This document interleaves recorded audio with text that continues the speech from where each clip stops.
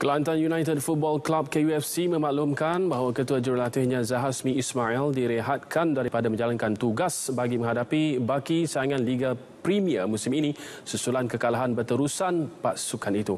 Isu tunggakan gaji dua bulan setengah sebagai punca kepada masalah dalaman pasukan ini.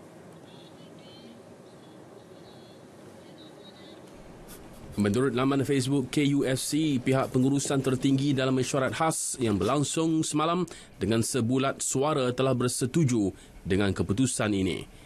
Keputusan drastik ini terpaksa diambil setelah melihat situasi semasa pasukan yang memerlukan jurulatih bagi menghadapi baki empat perlawanan Liga Premier dalam masa terdekat turut direhatkan dua pembantunya, Sazami Syafi'i dan Zahariman Ghazali sehingga tarikh yang akan diberitahu kelak.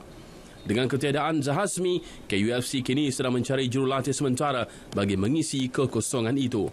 KUFC merakamkan ucapan penghargaan dan terima kasih kepada Zahasmi serta pembantunya atas khidmat mereka membantu pasukan sejak musim 2019 sehingga membawa kepada kejayaan muncul juara Liga Amatur M3 dan layak ke Liga Premier musim ini.